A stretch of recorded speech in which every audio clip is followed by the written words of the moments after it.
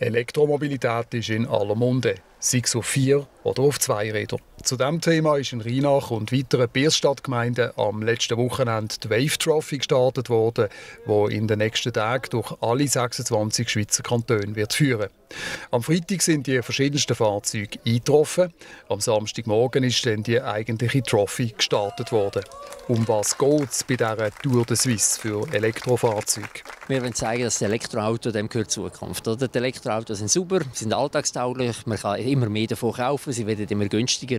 Und das ist das, was wir den Leuten zeigen wollen. Das macht Spass, mit denen rumzufahren. Wir fahren sogar mit denen rund um die Schweiz. Also ich meine, was will man noch mehr? Äh, die, äh, die Wave selber wird so finanziert, dass die Leute Teilnahmegebühr zahlen. Oder? Und mit dem wird das Hotel und so weiter finanziert. Und Gemeinden helfen uns aber auch mit Stromanschlüssen und so weiter, mit Bewilligungen. Und so gehen wir von einer Gemeinde zur anderen, haben überall unsere Anlässe und wollen überall bei den Politikern, bei den Behörden, bei der Öffentlichkeit, bei den Schulen zeigen, hey, das ist die Zukunft. Insgesamt sind über 50 Teilnehmende aus dem In- und Ausland am Start, auch aus der Region. Ich bin der Lorenz, ich bin 20, komme aus Möhlin, bin jetzt zum dritten Mal auf der Wave äh, dabei. Interessiere mich für die Elektromobilität seit, ich, äh, seit unter sieben Jahren. Meine Eltern fahren seit sieben Jahren elektrisches Auto. Und äh, generell äh, auch im Politischen interessiere ich mich stark für die grün-liberale Partei. Besonders an dieser Wave ist einfach, dass man äh, verschiedene Autos, mehrere 40, 50 Autos von verschiedenen Typen, über Prototypen, über äh, Serienfahrzeuge, Kleinserien, Grossserien, äh, von amerikanischen Autos und deutschen Autos alles hier haben. Und wir das der Schweizer Bevölkerung können so präsentieren und auch beweisen, dass die Elektromobilität funktioniert. Bei aller Euphorie, es gibt auch Kritik an Elektrofahrzeugen.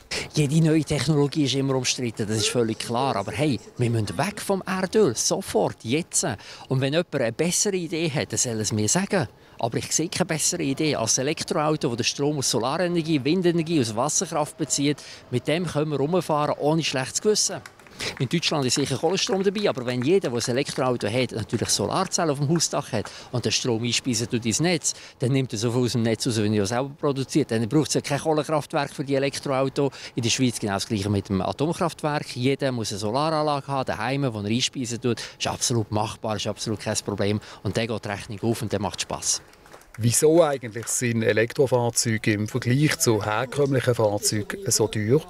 Jede neue Technologie ist teuer. Das erste Handy war auch teuer, der erste grosse Plasmabildschirm war auch mal teuer, aber die Preise purzeln extrem oben runter. Es ist nur eine Frage der Zeit, vielleicht noch ein Jahr, zwei, und dann werden die Elektroautos so teuer sein wie die heutigen Benzinautos.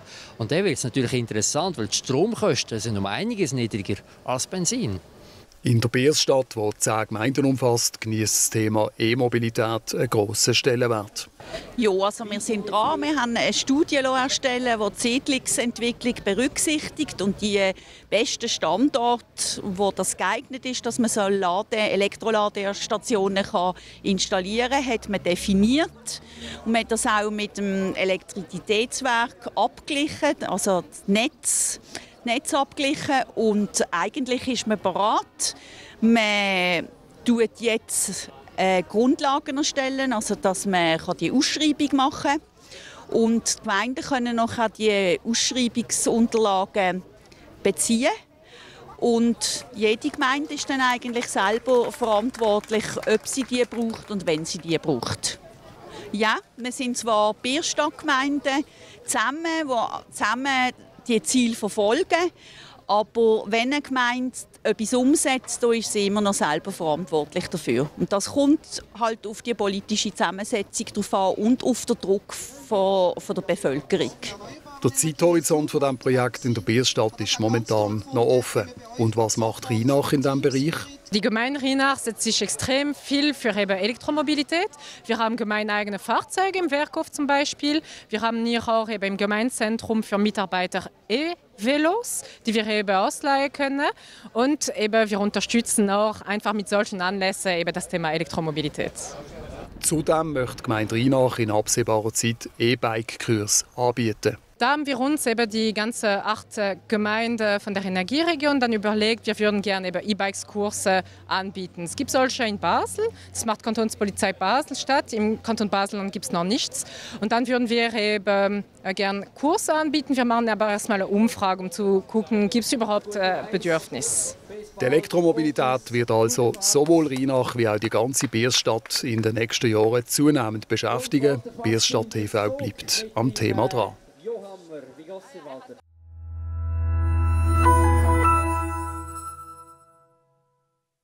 Am nächsten Wochenende ist es wieder soweit. Auf vier grossen Bühnen im Dorfzentrum steigt das 21. Jazz Weekend und zwar am Samstag ab dem frühen Abend bis tief in die Nacht rein, am Sonntag dann zwischen 10 Uhr morgen und am 2. Mittag. Auf den Bühnen treten national und international bekannte Bands auf. Es wird neben Jazz auch Blues, Country, Rock, Pop und Soul zu hören sein und in einer tollen Atmosphäre ist für alle etwas dabei. Der Brunch am Sonntagmorgen wird von einem speziellen Chor eröffnet und es gibt einen Gottesdienst und der Eintritt ist frei.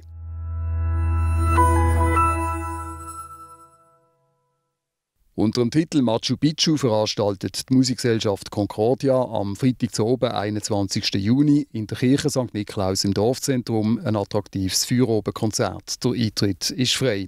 Das musikalische Werk Machu Picchu vom japanischen Komponist Satoshi Yagisawa beschreibt die Ruinenstadt in Peru, wo im 15. Jahrhundert in gut 2300 Meter Höhe erbaut worden ist. In dem Stück wird nicht nur die beeindruckende Landschaft, sondern auch die bewegte Geschichte von deren Stadt verarbeitet.